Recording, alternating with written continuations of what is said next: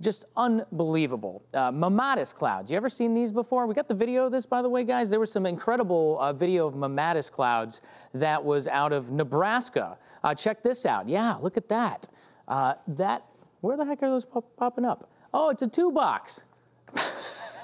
look at me. I was over here. I'm like, it should be over here somewhere. There's just a wall over there. There yeah, they are. The video's right next to me. So that's actual video of the clouds. Now, these are clouds that form on the underside of the anvil head of a thunderstorm. That's like 30, 40, 50,000 feet up in the air. So just to give you an idea, we can come in tight on this here real quick. The real meat of the storm is down closer to the surface. So this thing right here would be a shelf cloud. I'm going to show you a, a picture and a video of that in just a second. Uh, you've got a tornado, if it does form, would come out of the bottom of this. Very, very small compared to the overall relative size of the storm.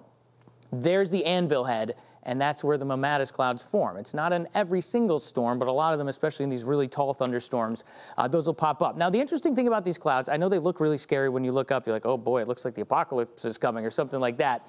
But you don't, it's not an indication for sure that you're going to get hit by a storm because again, it's so detached from where the main part of the storm is at the surface. So depending on which direction the storm is moving in, you know, sometimes the storm will hit and then you see mammatus clouds after. Sometimes the storm doesn't even hit you at all, and you'll look up and you'll see mammatus clouds, but maybe the storm is somewhere nearby down at the surface.